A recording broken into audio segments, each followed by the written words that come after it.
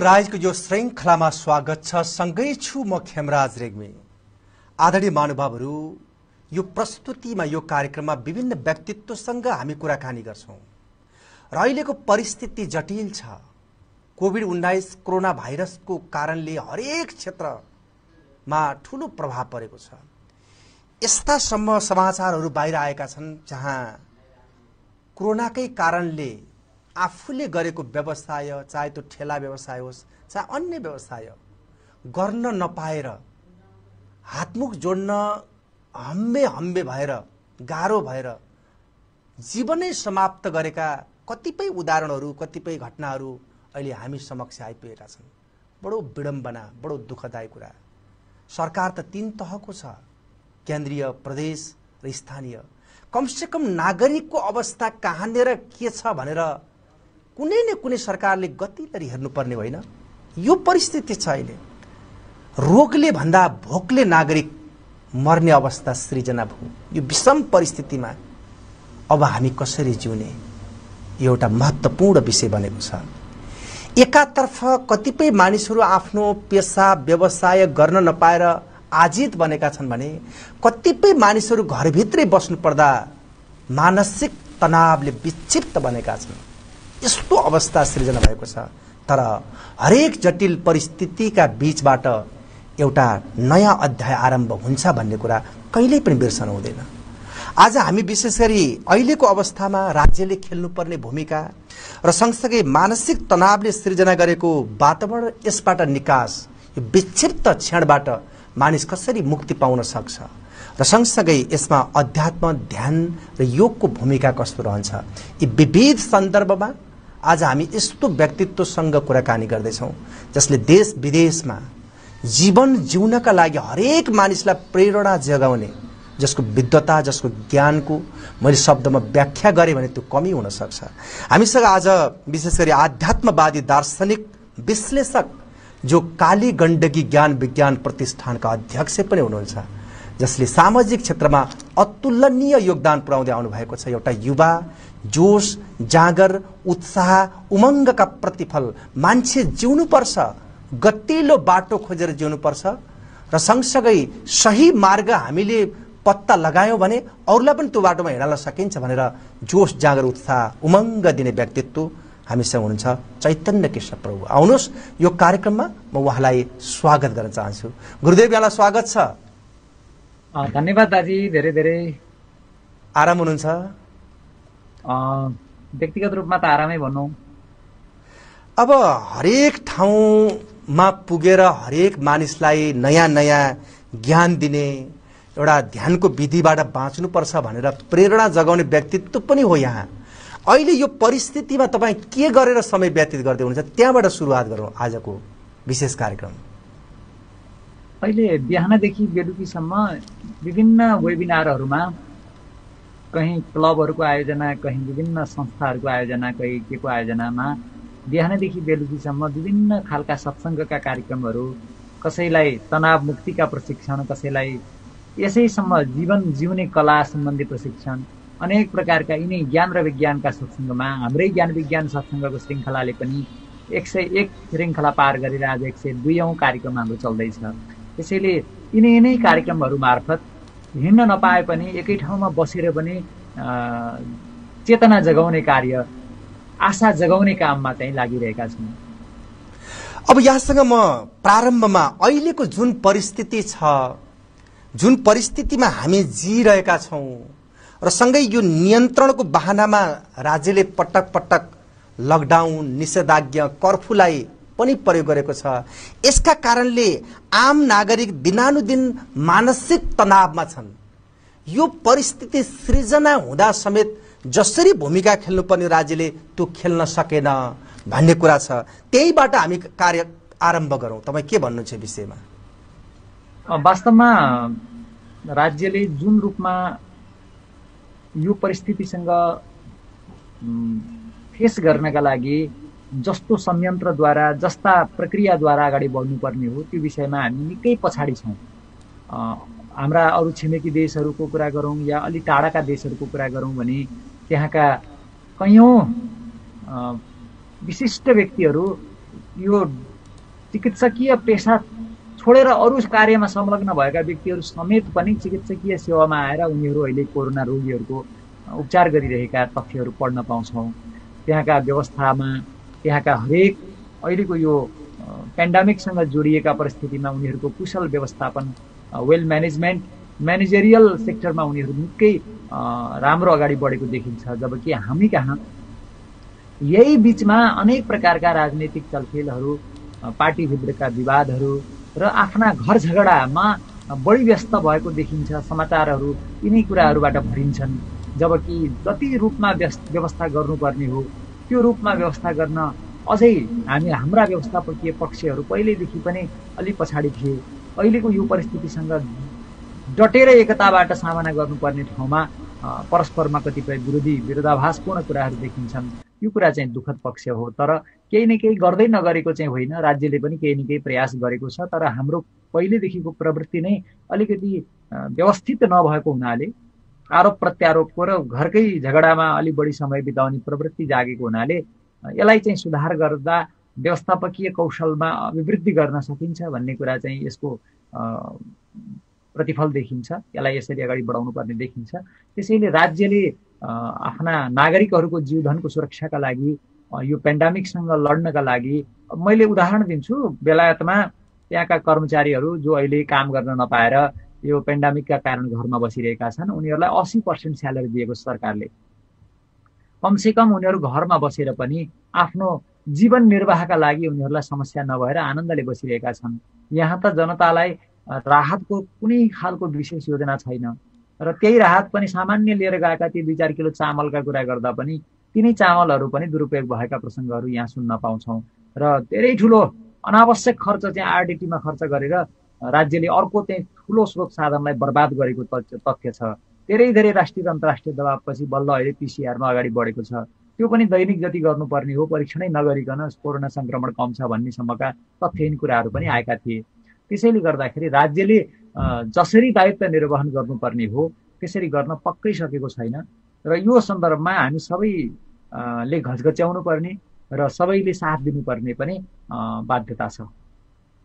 अब एउटा प्रसङ्ग गुरुदेव धन सम्पत्ति जति जोडे पनि जति थुपारे पनि सम्बन्ध जति जोडे पनि त्यो जिउँदासम्म हो आर्यघाटसम्म पुग्दासम्म हो।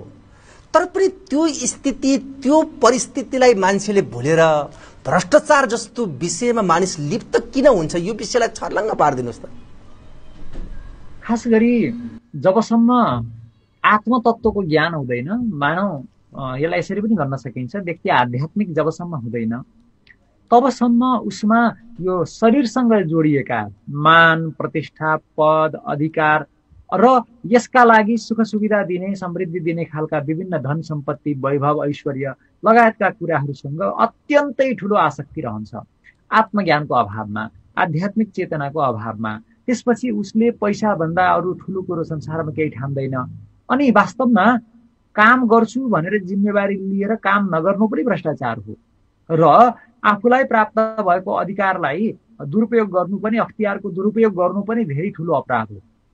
र यस्तो प्रवृत्ति किन जाग्छ त भन्दाखेरि जरैदेखि यो सबै हाम्रो जीवनको श्वास बन्द हुँदाको क्षणमा कुनै पनि कामको छैन पृथ्वी आजसम्म न त कसैको भइन् न भोलि कसैको हुन्छन्। बिचमा आउनेहरू यसो पृथ्वीमा आश्रय लिएर बस्छन्। कसैले थोरै ठाउँ गर्छन् कसैले धेरै गर्छन् त्यति मात्रै हो। एउटै घरमा पनि कमिलादेखि मुसासम्म गौथलीदेखि माउसुलीसम्म त्यहाँ साङ्लादेखि अनेकौँ प्राणीहरू त्यसै घरभित्र अनेकौँ प्राणीहरू बसिरहेका हुन्छन्। सबैले आफ्नो आफ्नो घर भन्छन्। तर मान्छे आफ्नो अहङ्कारका कारण यो मेरो हो भन्छ। गौथली बोलो चिरबिरे च्यारका कवितामा लेखनाथ पौड्यालले दिएका सन्देशहरू हामीले स्कुल जीवनमा पढ्थ्यौँ। वास्तवमा आध्यात्मिक चेतनाको अभावले मान्छे भ्रष्टाचारतिर बढ्छ। भ्रष्टाचारलाई पूर्ण रूपमा नियन्त्रण गर्ने हो भने व्यक्ति आध्यात्मिक हुनैपर्छ आत्मिक चेतना उसले बुझ्नै पर्छ। म यो शरीरै होइन। म आत्मा हुँ। यो शरीरभन्दा अलग रहन सक्ने क्षमता शरीरभन्दा अगाडि पनि म थिएँ। शरीरभन्दा पछाडि पनि म रहन सक्छु। र शरीरमा रहँदै त्योभन्दा अलग हुन सक्ने क्षमताको विकास गर्नु नै आध्यात्मिक चेतनाको विकास हो। र आफू जस्तै अरूलाई सम्झेर व्यवहार गर्नु आध्यात्मिक प्रवृत्ति हो। आफू अरूको सुख र दुःखमा सुखी र दुखी हुनु। आत्मौपमेन सर्वत्र समम पश्यति योर्जुन। सुखम वा यदि वा दुःखम स योगी परबो मत। त्यसैले सुखमा होस् या दुःखमा होस् सबैलाई आफू जस्तो सम्झेर आफै सम्झेर व्यवहार गर्ने प्रवृत्ति जब जाग्छ तब बेल बल्ल व्यक्ति योगी बन्छ बल्ल त्यो व्यक्ति चाहिँ आध्यात्मिक बन्छ। र आध्यात्मिक चेतनाको अभावले गर्दा अर्कालाई शोषण गरेर जनताले आफूले कति दुःख र कष्टका साथ दिएको करलाई वैयक्तिक सुखका लागि चाहिँ कहिले दुरुपयोग गर्न मिल्छ त जनप्रतिनिधिहरूले? यस्तो बेलामा पनि यस्तो पेन्डामिकको बेलामा जनतालाई राहतको कुनै पनि प्याकेज छैन। जनतालाई कुनै पनि प्रकारको चाहिँ यो समस्याबाट बाहिर आउनका लागि कुनै हाम्रो जीवनस्तर यदि एकदमै साधारण हुँदैन थियो हाम्रो जीवनस्तर हाम्रो खर्च कम हुँदैन थियो भने अमेरिकाको जस्तो चाहिँ निकै खर्चिलो जीवनशैली या त्यहाँ त्यति धेरै महँगो जीवनशैली हुन्थ्यो भने जापानको अमेरिकाको बेलायतको जस्तो हुन्थ्यो भने आज नेपालको स्थिति के हुन्थ्यो होला? यस्तो दुरवस्थाको बिचमा। सौभाग्यले भनौँ यहाँ हाम्रो निकै जीवनशैली साधारण भएको हुनाले हाम्रो खर्च कम छ। खर्च कम भएको हुनाले हामी कमसेकम केही महिनासम्म काम नगरेर पनि ठुलो ऋण नलागेर ठुलो समस्या नभइकन केही बस्न सक्ने अरू देशको तुलनामा हाम्रो अलिकति त्यो क्षमता बढी छ। र फेरि धुलो र धुवासँग चाहिँ अलिकति सामना गरेर त्यसैसँग जिउने अभ्यास गरेको हुनाले पनि कोरोनासँग लड्ने क्षमता त्यो एन्टिबडी बनाउन सक्ने क्षमता अनि त्यो इम्युनिटीको क्षमता पनि हाम्रोमा अलिक बढी देखिएको छ। त्यो एउटा प्रकृतिले दिएको या परमात्माले दिएको एउटा वरदानको पक्ष हो। तर मानवीय कौशलको कुरा गर्दा म्यानेजेरियल स्किलको कुरा गर्दा त्यो पक्षमा हामी निकै पछाडि छौँ र करप्सनमा पनि हामीहरू निकै अगाडि रहेछौँ भन्ने कुरा चाहिँ पछिल्ला तथ्याङ्कहरूले देखाएको छ। अहिले यस्तो पेन्डामिकको बेलामा पनि बढेका भ्रष्टाचारका तथ्याङ्कहरूले हामीलाई वास्तवमा पटक पटक सोच्न बाध्य बनाएका छन् र नेपालमा आध्यात्मिक चेतनाको कमीले गर्दा कस्ता विकृतिहरू बढ्दैछन् भन्ने कुरा चाहिँ ऐना चाहिँ छर्लङ्ग भएको छ। अब एउटा प्रसङ्ग यो महामारीलाई जसरी अहिले एउटा हाउगुजी जस्तो प्रचार प्रसार गरिया छ वास्तवमा यो त्यस्तो होइन भन्ने खालका एकातिर अन्य व्याख्याहरू पनि आइरहेका छन्। यसैको तनावको कारणले दैनिक सत्रजना मानिसले आत्महत्या गरिरहेका छन्। यो विषम परिस्थिति सिर्जना हुँदा समेत अब हामी कसरी जाने भन्ने खालको सोच सिर्जना हुन सकेन। यसमा तपाईँ के भन्नुहुन्छ?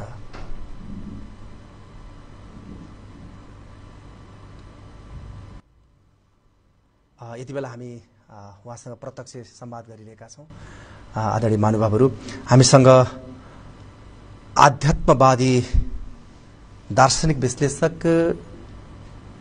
चैतन्य कृष्ण जो काली गण्डकी ज्ञान विज्ञान प्रतिष्ठानका अध्यक्ष पनि हुनुहुन्छ विशेष गरी धर्मको माध्यमबाट सँगसँगै मानिसको आचरणलाई सही तरिकाले व्याख्या गर्न लिन सकियो र सँगसँगै मानव सभ्यतालाई सही ढङ्गबाट लैजानको लागि अध्यात्मलाई राम्रोसँग अनुसरण गर्नुपर्छ भन्ने विशेष उहाँबाट हामीले जानकारी लिँदैछौँ।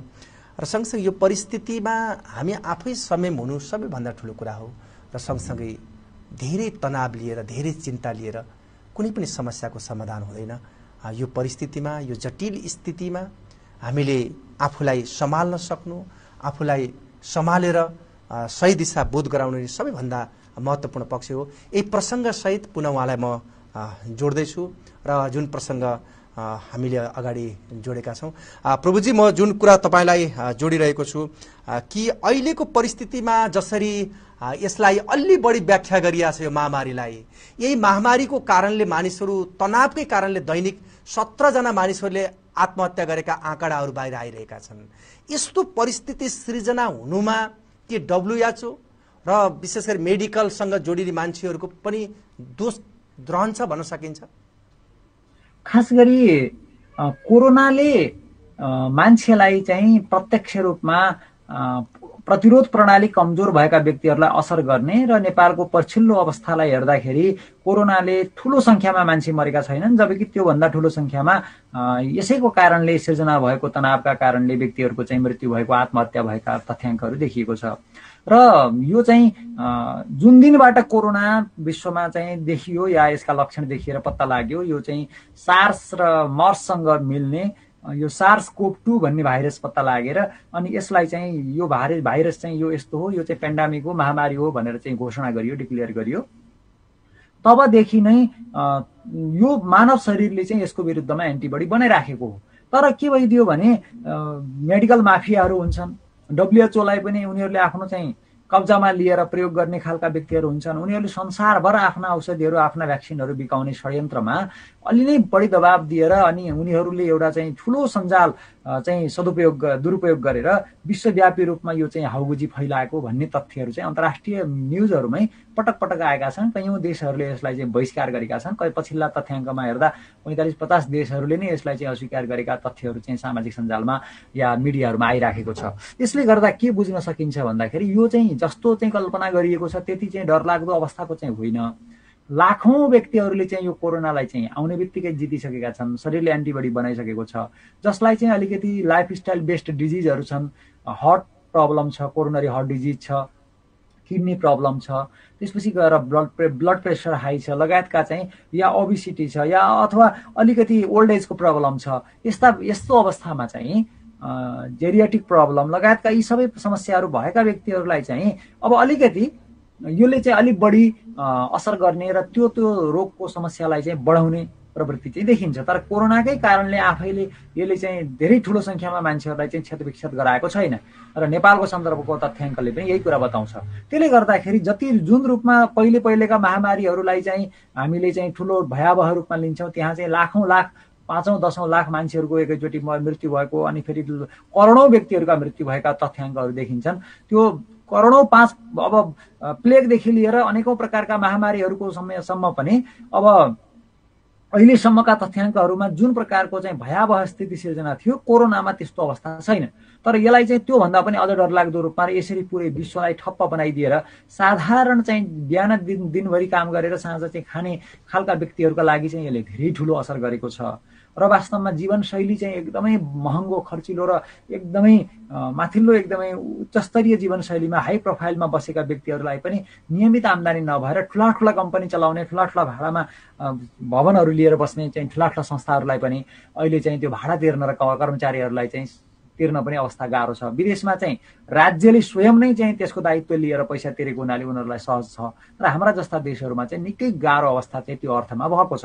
त्यसैले यसलाई जुन रूपमा यो हाउगुजीलाई जति प्रचार गर्नु नपर्ने हो जुन रूपमा लिनुपर्ने हो त्यो रूपमा नलिएर यसलाई अति अतिरञ्जित गरिएको यसलाई चाहिँ प्रष्ट देखिन्छ।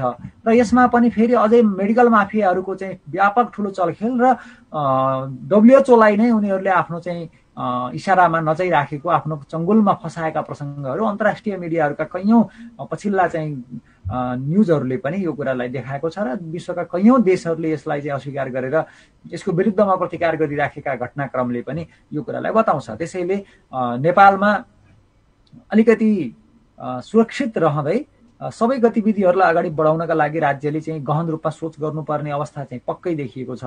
र यसले चाहिँ एकातिर जुन रूपमा जीवधनको सुरक्षा गर्नका लागि भनेर सोचिएको छ त्योभन्दा बढी यसको चाहिँ नकारात्मक प्रभावबाट चाहिँ झन् ठुलो क्षति हुने अवस्था चाहिँ सिर्जना भएको देखिएको छ। राज्य त आन्तरिक खिचल्लोमै तानातानमा छ त्यो कुरा हामीले जानेकै हो सर्वविदितै छ। तर अब आम नागरिकले कसरी बुझ्ने कसरी लिने यो विषयलाई? अब यो भाइरसको बारेमा त आम नागरिकलाई जानकारी छँदै छैन। यो एउटा माइक्रो अर्ग्यानिजम हो। यसलाई चाहिँ सूक्ष्मदर्शक यन्त्रमा राखेर देखेर बल्ल थाहा पाइन्छ। यसको लक्षणहरू पनि कसैको शरीरमा देखिन्छन् कसैको लक्षण शरीरमा देखिन्न।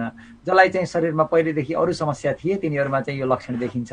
तर राज्यले चाहिँ जनतालाई चाहिँ ढाडस दिएर उनीहरूलाई चाहिँ लड्न सक्ने बनाएर उनीहरूलाई चाहिँ यो परिस्थितिसँग फेस गर्नका लागि र अलिकति जीवनमा अलिकति अप्ठ्यारो परिस्थितिबाट सहज हुनका लागि जस्ता खालका प्याकेजहरू ल्याउनु पर्ने जस्तो खालको चाहिँ कार्य गर्नुपर्ने। यही भित्र चाहिँ अब आरडिटी प्रसङ्ग पिसिआरकै प्रसङ्गमा पनि भ्रष्टाचारका केसहरू अगाडि आए। त्यसपछि गएर कतिपय व्यक्तिहरूले त यसमा भएका भ्रष्टाचार र अनियमितताहरू खुलेरै भन्न सक्छौँ। बरु त्यसको चाहिँ दण्ड भनेको राज्य देश निकाला हो। त्यो पनि बरु भोग्न तयार छौँ तर चाहिँ यो चाहिँ ठुलो चाहिँ अनियमितता भएको छ भनेर यसका सँग जोडिएका प्रसङ्गहरूमा व्यापक रूपमा र एकदमै तथ्यपूर्ण रूपमा भन्दा पनि राज्यले चाहिँ अब यस्ता चाहिँ प्रत्यक्ष चरित्रमा चाहिँ दाग लागेका र एकदमै तथ्यपूर्ण रूपमा चाहिँ आरोप लागिसकेका व्यक्तिहरूलाई समेत पनि प्रधानमन्त्रीज्यूले चाहिँ पटक पटक चाहिँ जब आफ्ना कुनै मन्त्री या कुनै चाहिँ विभिन्न चाहिँ डरलाग्दा चाहिँ आरोप लागेका चाहिँ मन्त्रीहरू या आफ्ना नजिकका व्यक्तिहरूलाई समस्या आउँछ अनि उहाँ चाहिँ इन्टरभ्यूमा आएर उनीहरूलाई बचाउने काम गर्नुहुन्छ न्यायाधीश आफै बन्नुहुन्छ। यो चाहिँ गलत कुरा हो। र यो त इमान्दारिता यो लोकतन्त्रको चाहिँ मर्म पनि यो होइन। किनभने वास्तवमा यथार्थ कुरा गर्ने हो भने राज्यले त अलिकति पनि सानो पनि आफ्नो दायित्व पुरा गर्न नसक्दाखेरि त तुरन्त अर्को व्यक्तिलाई भर्खरै हेरौँ न जापानको प्रधानमन्त्रीले आफू अस्वस्थ हुँदाखेरि चाहिँ काम गर्न म राम्रोसँग सक्दिनँ होला भनेर चाहिँ उहाँले राज्य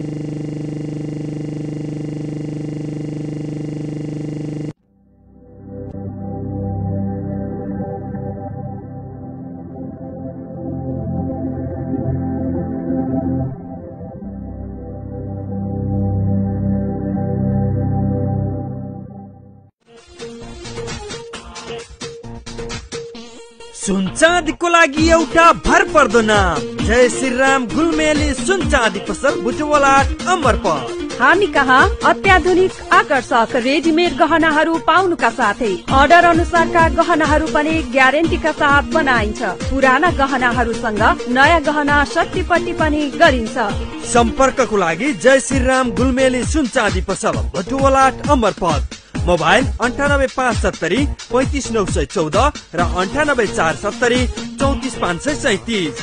प्रोपराइटर राम बहादुर सविता। अब ढुक्क हुनुहोस्। धेरै समयदेखि प्रतीक्षा गरिएको विश्व प्रसिद्ध ढलान प्रविधि अब रूपन्देहीमा स्थापित भएको छ। न मिस्त्रीको समस्या न सिमेन्ट गिटी बालुवा खोजेर राख्ने ठाउँको समस्या। न त चुइने भत्किने न फिनिसिङकै समस्या।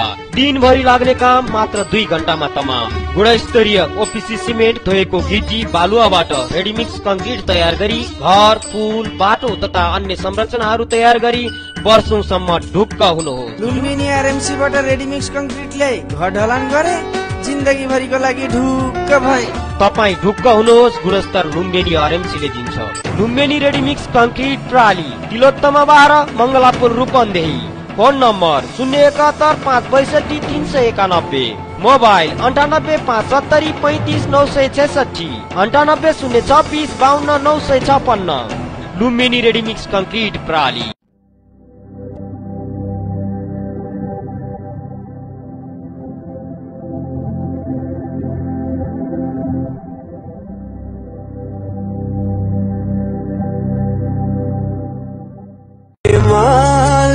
पहाड के तराई एउटै नेपाल के हिमाल के पहाड के तराई एउटै नेपाल मेरो जन्मभूमि म खेल्ने आँगन यही हो।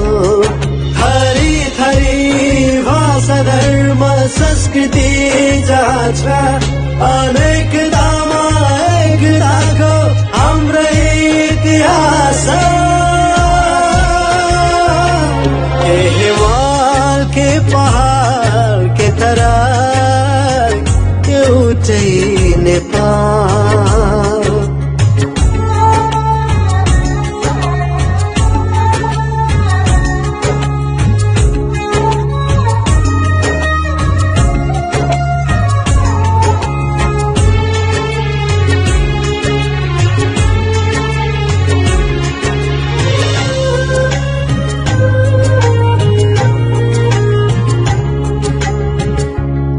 भुटेर होइन।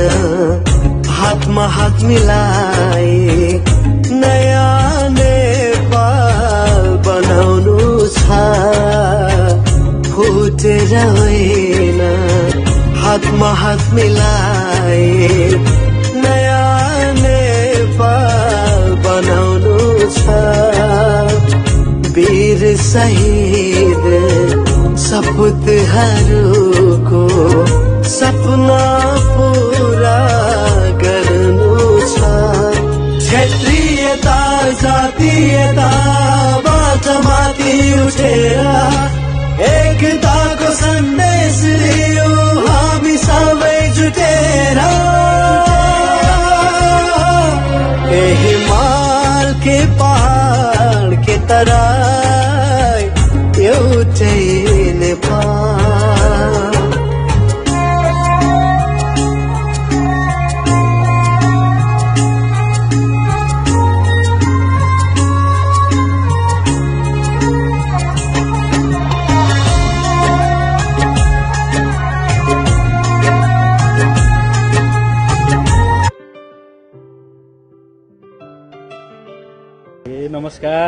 के हुँदैछ त?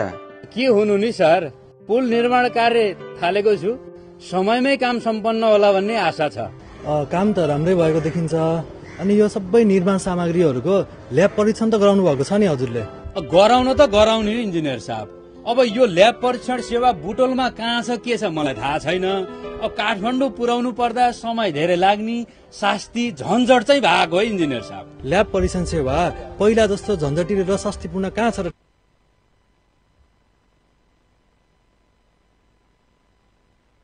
आदरणीय महानुभावहरू यति बेला हामी अध्यात्मवादी दार्शनिक विश्लेषक काली गण्डकी ज्ञान विज्ञान प्रतिष्ठानका अध्यक्ष चैतन्य कृष्ण प्रभुसँग कुराकानी गरिरहेका छौँ। र यतिन्जेलसम्म हामीले राज्यको भूमिका कोरोना नियन्त्रणमा राज्यले खेल्नुपर्ने भूमिका सशक्त हुन किन सकेन राज्यले गर्नुपर्ने विषय के थियो यो विषयमा केन्द्रित रहेर कुराकानी थियो। अब हामी विशेष गरी योग र ध्यानले विशेष गरी यो अवस्थामा कसरी मानसिक तनावबाट मुक्ति यो महामारीलाई कसरी सहजै जित्न सकिन्छ यी विविध सन्दर्भमा उहाँसँग हामी विशेष कुराकानी गर्नेछौँ। आउनुहोस् पुनः उहाँलाई म स्वागत गर्न चाहन्छु। यहाँलाई स्वागत छ। विश्रामपछि। दाजी। अब योभन्दा अगाडि जुन प्रसङ्ग हामीले कोट्यायौँ अब अहिले विशेष गरी हामी यो अध्यात्म योग र ध्यानकै प्रसङ्ग छ। हरेक ठाउँमा यही विषयमा नागरिकहरू जागृत हुन खोजेका पनि छन्। अब यस्तो स्थितिमा अध्यात्म योग र ध्यानले कसरी मानव जीवनलाई सक्षम भएर बाँच्न सिकाउला यो विषयलाई जोड्नु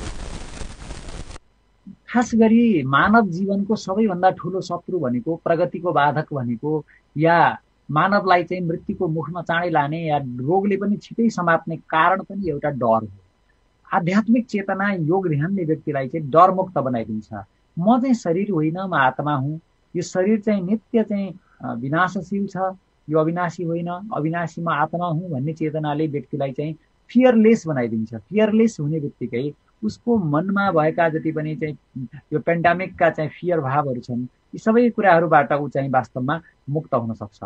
त्यसैले योगको वास्तविक अर्थ के हो भने दिव्य चेतनासँग जोडिनु दिव्य शक्तिसँग जोडिनु एउटा विशिष्ट शक्तिको आधार प्राप्त भएपछि व्यक्ति साना बच्चाहरू पनि आफ्नो बाबुआमाको काखमा हुँदाखेरि नजिक हुँदाखेरि ठुल्ठुलै धम्की दिन्छन् अरूहरूलाई। अनि त्यो उनीहरूको त्यो आत्मबल के कारणले भएको त भन्दा बाबुआमाको नजिकको कारणले यो आध्यात्मिक शक्ति पनि योग ध्यानको कारणले परमात्माको दिव्य शक्तिसँग नजिक हुँदाखेरि व्यक्ति चाहिँ अनेक परिस्थितिहरूसँग डटेर सामना गर्न सक्ने अवस्थामा जान्छन्। र व्यक्तिलाई चाहिँ यो सानो रोग पनि बढ्ने कारण डर हो। त्यसले चाहिँ उसको मनमा पेनिक बिहेभियरहरू बढ्छन् फ्री रेडिकल्सहरू बढ्छन्। अनि यति मात्र होइन उसको शरीरमा यो उत्पन्न हुने नेगेटिभ न्युरो ट्रान्समिटर बायोकेमिकल्सहरूका कारणले गर्दा उसको समस्या झन् झन् बढ्ने जान्छ। उसको साइकोसोमेटिक डिसअर्डरहरू जति पनि मानसिक समस्याका कुराहरू छन् यी सबै कुराहरू बढ्न जान्छन् जबकि योग ध्यानले चेतनालाई परिष्कृत गरिदिन्छ। सम्पूर्ण शरीरलाई चाहिँ ब्रेनले कन्ट्रोल गर्छ। ब्रेनलाई पनि माझेर एकदम एकदमै परिष्कृत बनाएर एकदमै राम्रो सबल र सक्षम बनाइदिए सक्षम बनाइदिने कार्य चाहिँ योगले गर्छ। त्यसैले योगको प्रभाव सम्पूर्ण शरीरमा एकदमै पोजिटिभ रूपमा अनि यसले चाहिँ पोजिटिभ न्युरो ट्रान्समिटर बायोकेमिकल्सहरू एक्टिभ गरेर व्यक्तिलाई चाहिँ मुस्कान मुस्कुराहट प्रसन्नता आनन्द आमोद प्रमोद आह्लाद तृप्ति शान्ति यस्ता चाहिँ दिव्य आनन्दका चाहिँ रसायनहरू जगाउने कार्यमा र मान्छेलाई दिव्य आनन्दतर्फ चाहिँ धकेल्ने काम गर्छ त्यसले गर्दाखेरि शारीरिक रूपमा पनि स्वास्थ्यका लागि मानसिक रूपमा पनि स्वास्थ्यका लागि र आध्यात्मिक पनि स्वास्थ्यका लागि योगले र ध्यान योगभित्रकै अङ्ग हो जब व्यक्ति चाहिँ पूर्ण विश्वासका साथ कुनै एउटा विषयमा केन्द्रित भएर दिव्य शक्तिको नजिकमा पुगेर आफै बिर्सने अवस्था हुन्छ त्यो आफैलाई बिर्सने अवस्थालाई समाधि भनिन्छ भने पुरै एउटै विषयमा केन्द्रित भएर त्यो शक्तिको चाहिँ एकदमै नजिक पुगेर आफूसँगै अनुभूति गर्ने अवस्थाको नाम चाहिँ ध्यान हो। त्यसैले त्यो ध्यानले या योगका अभ्यासहरूले प्राणायाम आसनले चाहिँ व्यक्तिलाई अनेक प्रकारका रोगहरूबाट समस्याबाट मुक्त गराइदिन्छ मानसिक रोगहरूबाट पनि मुक्त गराइदिन्छ। अहिले पछिल्लो विश्वमा यो योगा एज अ बिजनेस एउटा करियरका लागि यता पूर्वतिर चाहिँ व्यक्तिहरू स्वास्थ्यका लागि बढी योगलाई चाहिँ ध्यान दिइरहेका छन् भने पश्चिमतिर सौन्दर्यका लागि पनि यो चाहिँ एकदमै बढी अगाडि बढिरहेको छ लोकप्रिय भएको छ विश्वका युरोप अमेरिका चाइनादेखि लिएर कैयौँ विश्वका चाहिँ प्रसिद्ध देशहरूमा पनि अमेरिकाका देश युरोपका देश त्यसपछि गएर चाइनामा पनि यसको चाहिँ व्यापक प्रभाव परेको देखिन्छ। त्यसले गर्दाखेरि योग ध्यानले हाम्रो जीवनमा भएका रोगहरूलाई पनि जित्न सक्ने बनाउने नलाएका रोगहरूबाट बच्न सक्ने बनाउने शरीरलाई पनि स्वस्थ मनलाई पनि स्वस्थ र आत्मालाई पनि तृप्त बनाइदिने हुनाले सबैभन्दा यो परिस्थितिसँग डटेर लड्ने क्षमता भनेकै योग ध्यानको विस्तार हो। आसन जस्तै जस्तै प्रभु त्यहाँनिरै म जोड्न चाहे योग र ध्यान त गर्ने भनेर हामीले भन्यौँ। तर योग र ध्यानका लागि आहार विहार पनि उत्तिकै महत्त्व होला नि त। कस्तो खानपानले सहज रूपमा योग गर्न सकिन्छ र ध्यान लाग्न सक्छ? यो विषयलाई अलि विशेष जोड दिनुहोस् न। खास गरी हामीले गर्ने भोजनको प्रभाव मस्तिष्कमा पूर्ण रूपले मस्तिष्कमा त्यसको प्रभाव पर्ने हुनाले हामीले जस्तो राजसी भन्छौँ गीतामा राजसी भन्ने भोजन छ त्यो बढी तारे भुटेका बढी चिल्लो पिरो बढी अमिलो नुनियो चर्को खालका चाहिँ भोजनहरू त्यस्ता खालका चाहिँ गरिष्ठ भोजनहरूलाई चाहिँ राजसी भोजन भनिएको छ। त्यसले बढी आलस्य सिर्जना गर्छ र योग ध्यानमा अरुचि पैदा गरिदिन्छ। बासी सडेगलेका र अमेध्य अपवित्र चिजहरू चाहिँ तामसी वर्गमा आउँछन्। ती चिजहरूले चाहिँ व्यक्तिलाई निद्रामा बढी आलस्यमा बढी र प्रमादमा बढी लगाइदिन्छन्। त्यसले गर्दाखेरि यी खालका भोजनहरूले व्यक्तिलाई चाहिँ त्यो शुद्ध चेतनाको यात्रामा परिशुद्ध आध्यात्मिक चेतनाको बाटोमा चाहिँ लाग्नलाई बाधा दिने गर्छन्। त्यही भएर हल्का भोजन हृदयलाई हितकर शरीरलाई चाहिँ हानि नगर्ने अनि एकदमै सात्विक ताजा भर्खर बनेको चाहिँ चिजहरू जङ्क फुडहरू चाहिँ भयङ्कर घातक छन्। जङ्क फुडहरूले चाहिँ धेरै नै हानि गरेका तथ्यहरू हामीले सबै कुराहरू अध्ययनले पछिल्ला अध्ययनहरूबाट बुझ्न सक्छौँ। र हाइजेनिक अनि एकदमै हेल्दी चिजहरू हामीले खाने क्रममा अर्ग्यानिक चिजहरू हाइजेनिक चिजहरू एकदमै हामीले बढी बढाउनुपर्छ र त्यो भोजनलाई पनि निकै कम खानुपर्छ। र फेरि जति पनि नसाजन्य पदार्थ अहिले कोरोनासँग जोडिएको अर्को कुरा के छ भने नसा सेवन गर्ने व्यक्तिलाई चाहिँ कोरोनाको प्रभाव बढी हुने कुराहरू विश्वविद्यालयका विभिन्न अध्ययनहरूले देखाएका छन्। त्यसपछि गएर धुम्रपान लगायतका मदिरापान लगायतका चाहिँ कुलतमा फँसेका व्यक्तिहरूलाई चाहिँ कोरोनाको प्रभाव बढी हुन सक्ने। र अहिले पछिल्लो तथ्याङ्कले के पनि देखाएको छ भने सत्तरी प्रतिशत भाइरसको सङ्क्रमणको विस्तार पशुबाट मानवमा भएको देखिएको छ। यसले के देखाउँछ भन्दाखेरि मांसाहार गर्ने व्यक्तिहरूलाई चाहिँ कोरोनाको समस्या चाहिँ अत्यधिक मात्रामा बढी हुने हुनाले व्यक्ति चाहिँ यदि आफू यस्ता प्रकारका महामारीहरूबाट यस्ता प्रकारका कम्युनिकेबल डिजिजहरूबाट सुरक्षित हुनु छ भने कुनै पनि प्रकारका अ, संक्रामक रोगहरूबाट यदि व्यक्ति चाहिँ बच्नु छ भने पनि उसले आफ्नो जीवनशैलीलाई शुद्ध बनाउनु आहार विहारलाई शुद्ध बनाउनु परम आवश्यक हुन्छ। त्यसैले योगमा उसको आहारको प्रभाव निकै ठुलो पर्छ। जस्तो हामी भोजन गर्छौँ उसको चाहिँ चेतनामा त्यस्तै खालका विचारहरू जागृत हुन्छन् र जस्ता विचारहरू हुन्छन् उसको कर्म त्यस्तै हुन्छ। कर्म अनुसार उसको वाणीको निर्माण हुन्छ वाणी अनुसार उसको व्यक्तित्वको निर्माण हुन्छ। त्यसैले गर्दा आहारको सिधै व्यक्तित्व निर्माणसँग डाइरेक्ट उसको चाहिँ सम्बन्ध छ। त्यसैले गर्दाखेरि भोजन त हामीले अत्यन्तै विचार गरेर गर्नुपर्ने हुन्छ। यौगिक जीवनशैलीमा प्रवेश गरिसकेपछि हामीलाई धेरै ठुलो शक्ति प्राप्त हुन्छ। तर त्यही यौगिक जीवनशैलीमा पनि मान्छेले गर्नुपर्छ योगदान भन्ने मान्छेहरू प्रशस्त छन्। यसले फाइदा गर्छ भन्ने बुझे जानेका मान्छेहरू पनि धेरै छन्। तर गर्ने मान्छेहरू निकै कम छन् किनभने उनीहरूको आहार विहार ठिक छैन। तर त्यो आहार विहार ठिक नभएको हुनाले उनीहरूलाई त्यस कार्यमा प्रवृत्ति जागेको छैन रुचि जागेको छैन। गर्नुपर्छ भन्ने चाहिँ छ। यो चाहिँ समस्या हो। जस्तै अब सबैले त्यही विधि र त्यही तरिकालाई अप्नाएर सहज ढङ्गबाट गर्न नसक्लान् तर पनि यो परिस्थितिमा यसो यसो गर्यो भने यसो यसो हुनसक्छ तपाईँ स्वस्थ रहन सक्नुहुन्छ भनेर भन्न सक्ने त्यस्ता केही ठेट विषयवस्तुहरू छन्? एकदमै धेरै छन् नि। अब म जस्तै यौगिक कुराहरू गर्ने आसन र प्राणायामका कुरा गर्ने हो भने म पुरा व्यावहारिक रूपमा पनि देखाउन सक्छु भन्न सक्छु। अब भ्रामरी प्राणायाम कानलाई बन्द गरेर आँखालाई बन्द गरेर लामो श्वास लिएर ओमको उच्चारण गर्दै अनि चाहिँ लामो श्वासभित्र भरेर त्यसलाई चाहिँ मुख बन्द गरेर चाहिँ भित्र दाँतहरूलाई हल्का जोडेर पोलिथिनमा चाहिँ हावाको प्रभावले बन्न गर्छ। त्यसै गरी मस्तिष्कलाई चाहिँ भाइब्रेटिङ गर्दै त्यो मस्तिष्ककोमा चाहिँ भाइब्रेसन उत्पन्न गर्दै यदि चाहिँ हामीले यो यो गर्छौँ हामी भ्रामरी प्राणायाम भने यसले मानसिक चिन्ताबाट मान्छेलाई एक छिनमा चाहिँ धेरै ठुलो रिलिफ दिन्छ इन्स्ट्यान्ट रिलिफ दिन्छ। अहिले जति पनि समस्या मानसिक समस्या भएका छन् मानसिक रोगीहरूलाई यो भ्रामरी प्राणायाम गराइदिनुहोस्। मैले यहाँ गरेर देखाउँछु।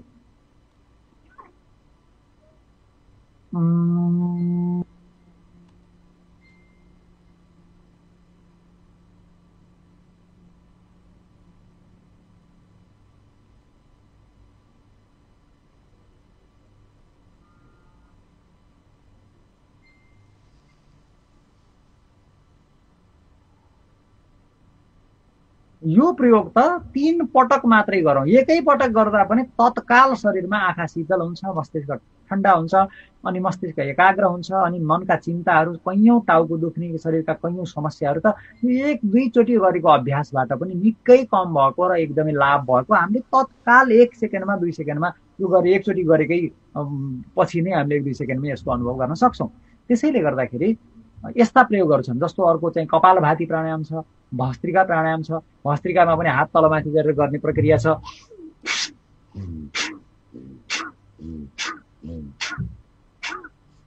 यो प्रक्रिया निकै लामो गर्ने।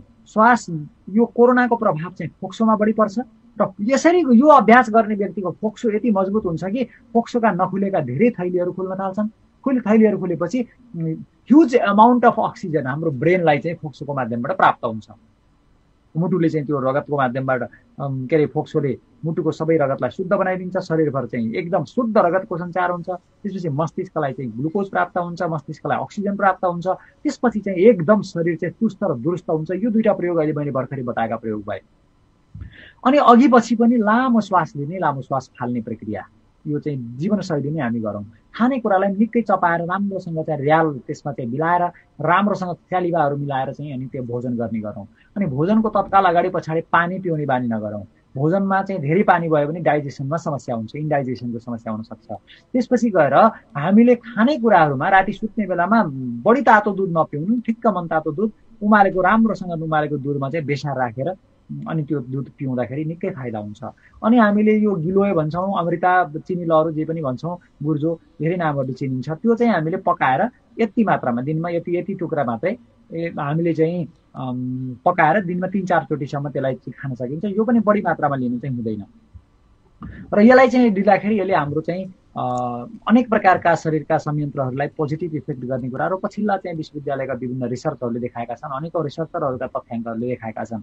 अनि यसपछि गएर व्यावहारिक रूपमा व्यक्तिगत रूपमा मैले भन्नुपर्दा या सबै पब्लिक फोरममा यसरी चाहिँ यहाँहरूलाई मैले भन्नुपर्दाखेरि यदि कोरोनासँग बच्ने हो भने यो पेन्डामिकको बेलामा शाकाहारी हुनु शाकाहारी हुनुभयो भने हजुरको चाहिँ स्वास्थ्य पहिला चाहिँ यसको प्रभाव चाहिँ पेटमा पर्छ। यसको प्रभाव मस्तिष्कमा पर्छ। यसले चाहिँ मांसाहार गर्ने मान्छेमा त्यो मानसिक रूपमा चाहिँ डर बढी हुन्छ। किनभने ती प्राणीहरू डराउँदै डराउँदै प्राण त्याग गरेका हुन्छन् र त्यो प्राणीहरू आत्तिएर डराएर चाहिँ एकदमै पीडाको अवस्थामा प्राण त्याग गर्ने हुनाले त्यसको चाहिँ शरीरलाई सेवन गर्ने व्यक्तिहरूमा मानसिक पीडा अनि शरीरमा दुखाइ उसको चाहिँ चेतनामा चाहिँ डर अनि रातिमा झस्किने तर्सिने ऐठनको समस्या हुने यस्ता अनेक प्रकारका मानसिक समस्याहरू चाहिँ मांसाहार गर्ने व्यक्तिहरूमा अत्यधिक मात्रामा हुने सम्भावना हुन्छ।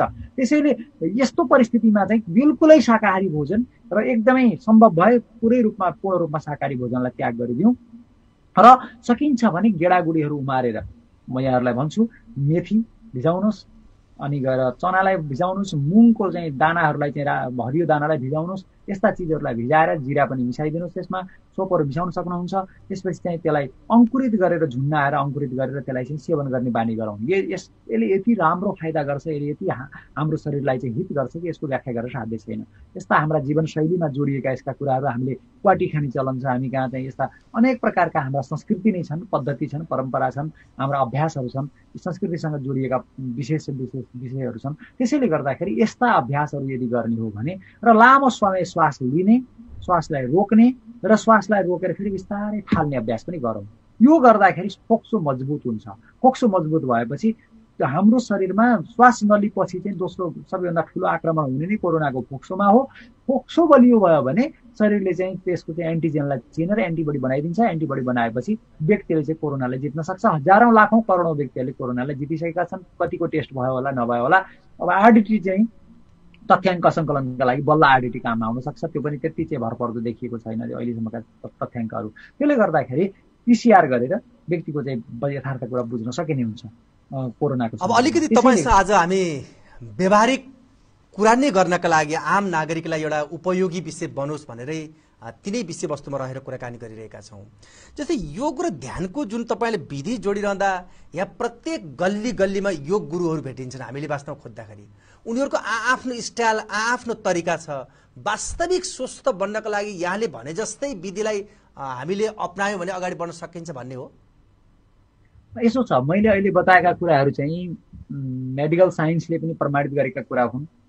आयुर्वेदले पनि आयुर्वेदाचार्यहरूले योगाचार्यहरूले प्राकृतिक चिकित्सकहरूले पनि अवलम्बन गरेका कुरा हुन् र योगी योगीहरू अनेकौँ प्रकारका योगीहरूले पनि यसलाई चाहिँ अनुमोदन गरेका तथ्यहरू अभ्यासबाट चाहिँ सिद्ध भएका चिजहरू एकदम विश्वव्यापी मान्यताबाट स्थापित भइसकेका चिजहरू र वैज्ञानिक प्रयोगबाट सिद्ध भएका तथ्यहरू मैले यहाँ बताएको छु। फरक फरक सिकाउने शैली होला अभ्यास गर्ने तरिका होला आफ्ना चाहिँ पद्धतिहरू होलान्। तर मूलमा योग ध्यानका चाहिँ या आसन प्राणायामका चाहिँ जुन विधिहरू हामीले गरिराखेका छौँ या गराउने गर्छौँ त्यो पद्धतिहरू चाहिँ विश्वव्यापी मान्यतामा आधारित छन्। र यसले चाहिँ तत्कालै फाइदा हुन्छ। मैले सबैभन्दा सुरुमा गरेको चाहिँ त्यो भ्रामरी प्राणायाम चाहिँ यति फाइदा छ यसले आँखाको तेजलाई बढाउने मस्तिष्कलाई चाहिँ शान्त शीतल बनाउने र मान्छेको चिन्तालाई घटाउने काम। मैले भनेको कुरा यहाँहरूले दर्शकहरूले प्रयोग गरेर हेर्नु होला।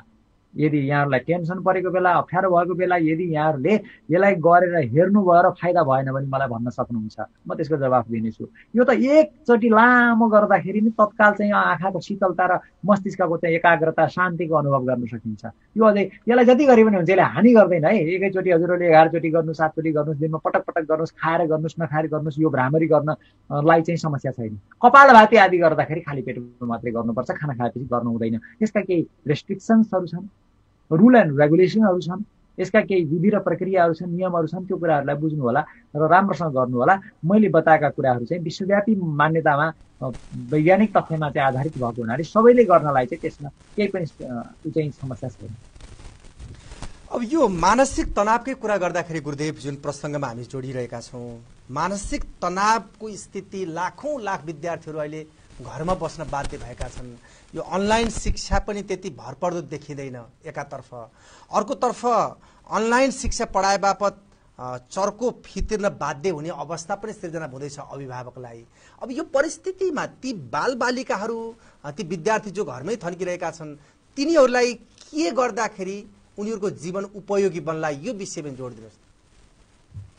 अब विद्यार्थीहरूको कुराकानी गर्ने हो भने आमा बाबाहरू आफ्ना छोराछोरीलाई समय दिन नपाएका आमा बाबाहरू एकजना अभिभावकले भनेको के भारतको अभिभावकले हो मलाई भेटेर भन्नुभएको।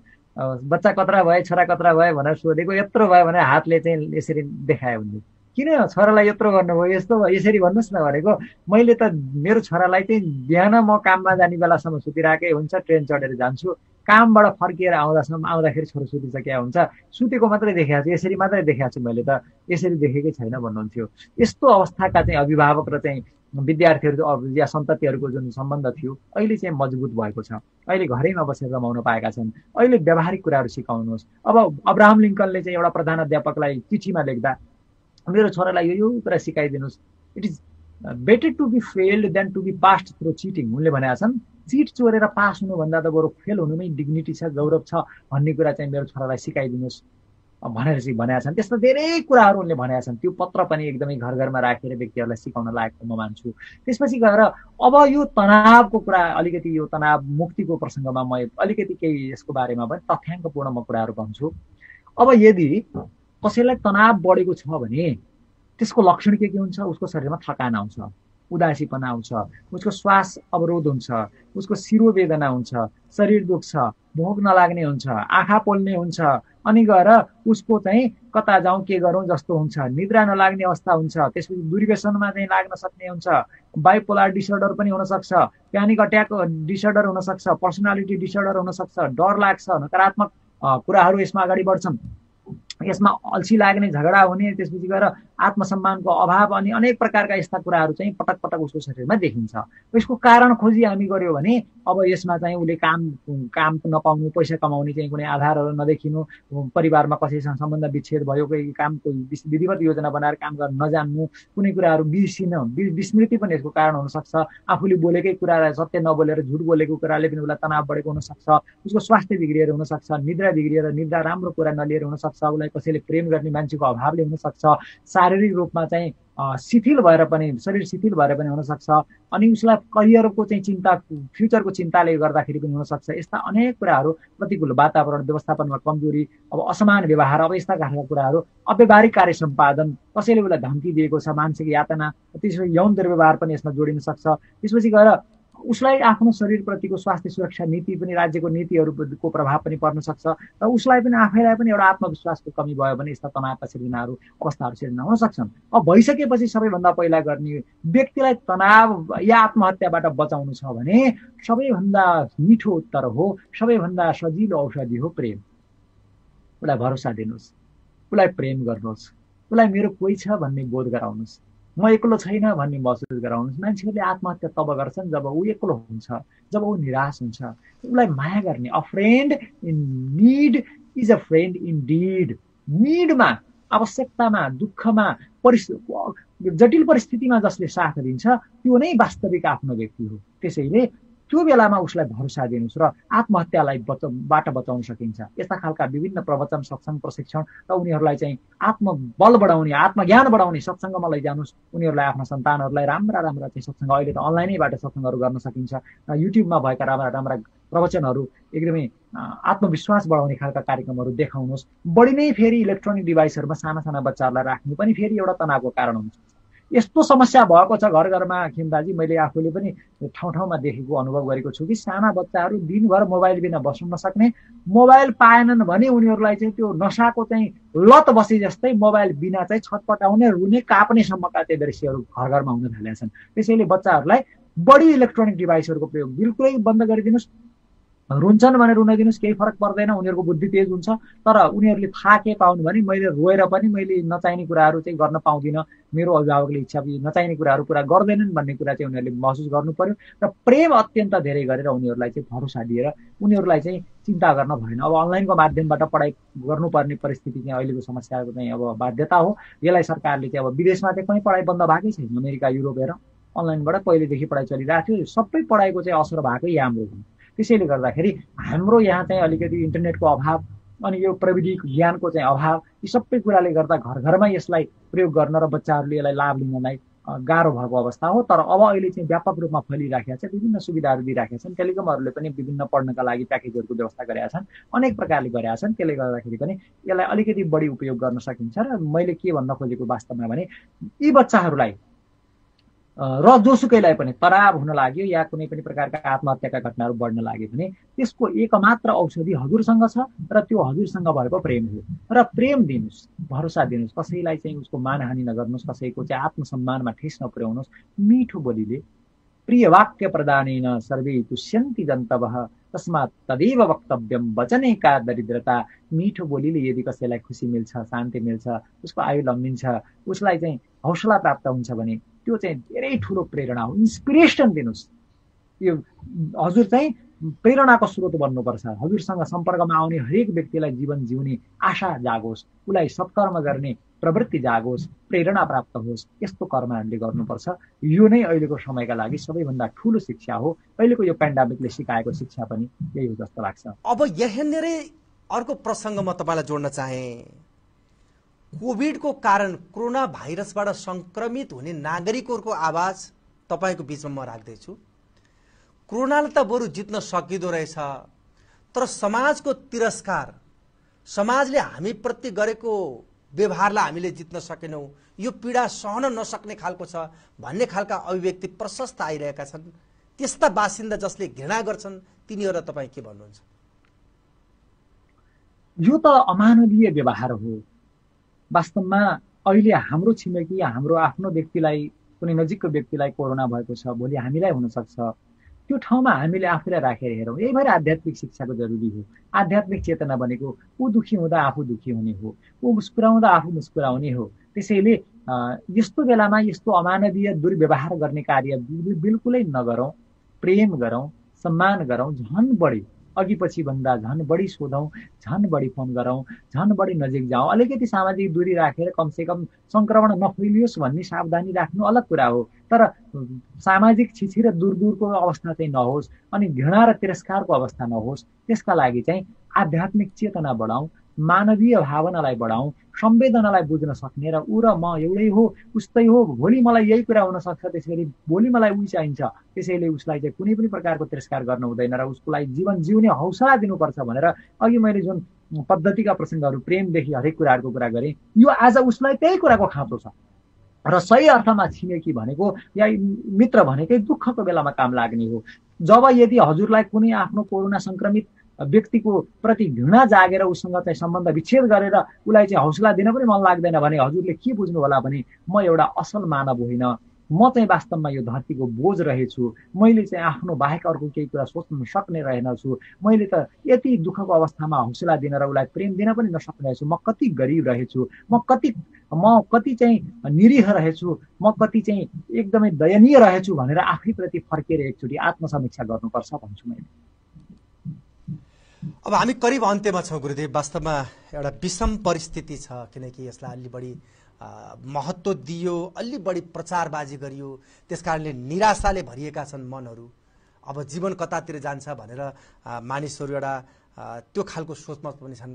कतिपय मानिसहरू हातमुख जोड्न नपाएर अब जीवनै जिउन सकिन्न भनेर आत्महत्या गरिदिँदाखेरि छोराछोरीको बेहाल स्थिति सृजना भएका समाचारहरू पनि हामी पढिरहेका छौँ र कतिपय मान्छेहरू आत्महत्या गरेका कुरा पनि हामी सुनिरहेका छौँ। यस्तो परिस्थितिमा अब निष्कर्षमा यो जीवन कसरी सहज ढङ्गबाट बाँच्न सकिन्छ?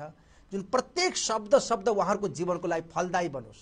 निष्कर्षमा निचोडमा तपाईँ के भन्न चाहनुहुन्छ? हामी ईश्वरका अंश अमृतका पुत्र हौ अमृतका पुत्री हौ हामी अमृतत्वका चाहिँ प्रतिनिधि हौ त्यसैले हामी मृत्युबाट अमरतातिर अध्यारोबाट उज्यालोतिर ज्ञानबाट ज्ञानतिर असत्यबाट सत्यतिरको बाटोमा हामी लाग्ने हो। हामी चाहिँ मर्दै नमर्ने आत्मा हो। हामीमा चाहिँ अनन्त शक्ति छ। हामीले आफ्नो मस्तिष्कको शक्तिलाई आत्मिक शक्तिलाई चिनौँ र हजारौँलाई नयाँ जीवन दिने काम गरौँ। उनीहरूलाई पनि बाँच्न सक्ने चेतना प्रदान गरौँ। हामी निराश भयौँ भने अरूलाई पनि दुःख बढ्छ। त्यसैले निराश नहौँ मुस्कुराउँ। यही एउटा चाहिँ तनाव मुक्तिको चाहिँ सुरुवात यहीबाट हुन्छ यो। केही गर्नु पर्दैन। यो ओठलाई यता यता तल र माथि चारतिर तन्काइदिए पुग्छ। अर्थात् चाहिँ बिचका चाहिँ ती सेता सेता दाँतहरू हिमाल जस्ता दाँतहरूलाई अलिकति देखाइदिएर मुस्कुराइदिए पुग्छ। मुस्कुराउने बित्तिकै तनाव चाहिँ मुक्तिको यात्रा आयु बढ्ने कुरा चाहिँ सुरु भइसक्यो। त्यसैले यो चाहिँ काम सुरु गरौँ। आफू पनि भरोसा अनि विश्वासको जिन्दगी एक भरोसो एक बल एक आस विश्वास एक राम घन श्याम हित चातक तुलसीदास भनेको छ। त्यो विश्वास भएपछि बाँच्ने आधार खडा हुन्छ। अनि हजारौँलाई हामीले जीवनमा जिउने आशा देखाउँ उनीहरूलाई चाहिँ बाँच्न सक्ने आधार दिउँ प्रेम दिउँ मिठो बोलाउँ र हाम्रो राम्रो सद्व्यवहारबाट हजारौँले प्रेरणा प्राप्त गरून्। सबैको जीवन मङ्गलमय होस् कसैलाई कुनै प्रकारको कष्ट नहोस्। यदि दुःख कष्ट पर्छ भने बरु मलाई परोस् अरू कसैलाई दुःख नहोस् भन्ने चेतना हामीमा वृद्धि विकास होस् यस कुराले हामी सबैलाई चाहिँ धेरै ठुलो मानवताको चाहिँ चरम चुलीमा मात्रै होइन हामी आध्यात्मिकताको शिखरमा पनि पुग्न सक्छौँ र हाम्रो मानव जीवन धन्य र मङ्गलमय बन्न सक्छ। सबैको जीवन धन्य र मङ्गलमय होस्। यही कामना गर्न चाहन्छु। अब जाँदा जाँदै गुरुदेव अब एउटा प्रश्न सोधिन भने फेरि यो राष्ट्र हिन्दू राष्ट्र हुनुपर्छ भनेर आवाज उठाउने बुलुन्द आवाज उठाउने व्यक्तित्व पनि हो तपाईँ। अहिले कोरोनाबाट जीवन लीला समाप्त गर्नेलाई जुन विधि र संस्कार अनुसार अन्त्येष्टि गरिया छ नि कतिपय धर्मगुरुहरू यसको विरोध पनि गरिरहेका छन्। जुन संस्कार जुन शैली जुन तरिका जुन तौरबाट गर्नुपर्ने हो त्यो विधिभन्दा विपरीत गएर गरियो यसमा हाम्रो आपत्ति छ भन्ने खालको अभिव्यक्तिहरू पनि आइरहेछन्। यसमा तपाईँको धारणा के हो? हुनुपर्ने के थियो र के भइरहेछ? कोरोना सङ्क्रमित व्यक्तिसँग अलिकति त्यो लासलाई सङ्क्रमण गर्नका लागि राज्यले केही नीतिहरू पनि बनाएको छ र त्यसमा चाहिँ अग्नि संस्कार गर्न पनि मिल्छ। अग्नि संस्कार पनि हामीले त्याग गर्नु पर्दैन र हाम्रा मूल्य मान्यताहरूलाई पनि चटक्कै छोड्न पर्ने अवस्था छैन। र त्यसलाई चाहिँ जबरजस्ती कहीँ कहीँ घाट नदिने कतै चाहिँ के गर्ने कतै के गर्ने अनेक प्रकारका विरोधका प्रसङ्गहरू पनि आए।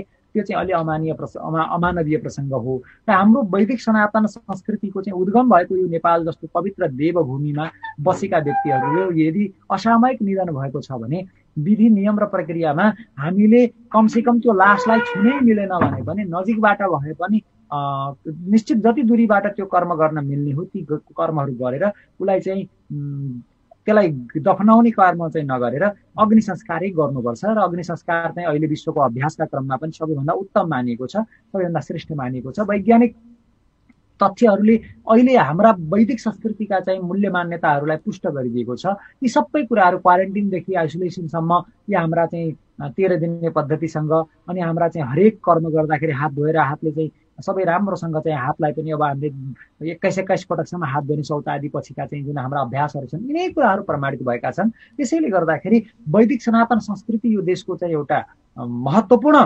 अङ्ग हो र यो यहाँको चाहिँ जीवनसँग जोडिएको सभ्यतासँग जोडिएको माटो इतिहाससँग जोडिएको कुरा हो र यो वैदिक सनातन संस्कृतिको चाहिँ यो मर्मलाई मर्न नदिउँ। अहिले चाहिँ केही प्रमुख दलहरूले पनि अब आफ्ना चाहिँ नीति नियमहरूलाई काङ्ग्रेस जस्तो पार्टीले पनि अब हिन्दू राष्ट्रमा अगाडि बढ्नुपर्छ भनेर केही समय अगाडि गोपालमान श्रेष्ठ जस्ता व्यक्तिले बोल्नुभएका प्रसङ्गहरू मिडियामा आएका थिए। र राप्रपाले पहिलेदेखि बोलिराखेको छ। नेकपा भित्रका पनि केही व्यक्तिहरूले चाहिँ हिन्दू राष्ट्रलाई समर्थन गरेका छन्। देशभर हिन्दू राष्ट्र चाहिन्छ र हिन्दू सभ्यता र संस्कृति वैज्ञानिक छ भन्ने कुरा विश्वव्यापी मूल्यहरूले पछिल्ला अभ्यासहरूले प्रमाणित गरेका छन्। डोनाल्ड ट्रम्पदेखि लिएर बेलायतका राष्ट्र प्रमुखहरूले पनि हात जोडेर नमस्ते भनिरहँदाखेरि हाम्रो संस्कृति चाहिँ श्रेष्ठ हो भन्ने कुरा र यसको अभ्यास विश्वका लागि उपयोगी छ भन्ने कुरा चाहिँ प्रमाणित भइसकेको अवस्था हो। त्यसैले गर्दाखेरि विधि प्रक्रिया नियमहरूलाई चाहिँ नमिचौँ नमिचिकन गर्न सकिने आधारहरू छन् जबरजस्ती नगरौँ यसले चाहिँ धेरै ठुलो नराम्रो असर गर्न सक्छ। र जति पनि राज्यका चाहिँ नीति नियमहरू छन् त्यसलाई चाहिँ धर्म संस्कृतिको विरोधमा होइन। मच्छिन्द्रनाथको यात्रामा पनि काठमाडौँमा राज्यले समयमा सही समयमा सही निर्णय गर्न नसक्दाखेरि दुर्घटना भएको थियो। सही समयमा सही डिसिजन गर्न सक्ने र सही तरिकाले चाहिँ परिचालन गर्न सक्ने क्षमताको हामीमा विकास होस्। विधि नियम प्रक्रिया राज्यका नीति नियमहरूलाई पनि हाम्रो संस्कृति अनुकूल बनाएर चाहिँ गराउनु पर्ने बाध्यता छ। यो कुरालाई मनन गरौँ। यदि चाहिँ संस्कृति र धर्मको विरोध भयो भने ती व्यवस्थाहरूलाई पनि अप्ठ्यारो पर्न सक्छ। यो कुरा चाहिँ मनन गर्नका लागि अनुरोध गर्दछु। हामी अन्त्यमा छौँ। आखिर के रहेछ यो जीवन? जीवन बुझ्यो भने यसलाई चिन्यो भने यो चाहिँ वरदान हो यो उत्सव हो। चिनेन भने यो विषाद हो। त्यसैले आफैले आफैलाई चिनेर यो जीवनलाई उत्सव बनाउने प्रयास गर्नुपर्छ। महत्त्वपूर्ण समय दिनुभयो। म यहाँलाई विशेष धन्यवाद र आभार र कृतज्ञता जाहेर गर्न चाहन्छु। बुद्ध टेलिभिजन र कुशल प्रस्तोता खिमबाजी र सँगै सँगै प्राविधिक पाटोमा काम गर्ने हाम्रा कपिलजी लगायत साथीहरूलाई पनि धन्यवाद। र यो बुद्ध टेलिभिजन बुद्धकै भूमिमा छ। बुद्धकै चेतनालाई फैलाएर बुद्धको ज्ञानलाई व्यासको ज्ञानलाई चाहिँ जनजनमा पुर्याउनका लागि अझ धेरै सक्रिय भएर काम गर्न सकोस्। शुभकामना पनि दिन चाहन्छु। धन्यवाद। यहाँलाई धेरै धेरै धन्यवाद। आदरणीय महानुभाव अहिले हामी प्रत्यक्ष संवाद गऱ्यौँ अध्यात्मवादी दार्शनिक विश्लेषक काली गण्डकी ज्ञान विज्ञान प्रतिष्ठानका अध्यक्ष चैतन्य कृष्ण प्रभुसँग। र विशेष गरी अहिलेको परिस्थितिमा मानिस कसरी सहज ढङ्गबाट जीवन जिउन सक्छ यो मानसिक तनावबाट कसरी मुक्ति हुन सक्छ पाउन सक्छ र सँगसँगै सरल जीवन जिउनका लागि के गरिनुपर्छ यी विविध सन्दर्भमा उहाँसँग हामीले छलफल गऱ्यौँ कुराकानी गऱ्यौँ। उहाँसँगको यो कुराकानीसँगै प्रविधिमा रहेर साथ दिने मित्र नरेश अधिकारी र आर भाइलाई विशेष धन्यवाद दिँदै यो कार्यक्रमबाट म पनि आज्ञा चाहन्छु। नमस्कार। जहाँ हुनुहुन्छ सकारात्मक सोचका साथ म स्वस्थ छु म मस्त छु म जीवन जिउन सक्छु मैले अरूप्रति पनि प्रेम गर्नुपर्छ भन्ने भावना जागृत गरेर जीवन बिताउनु होला यही हाम्रो कामना।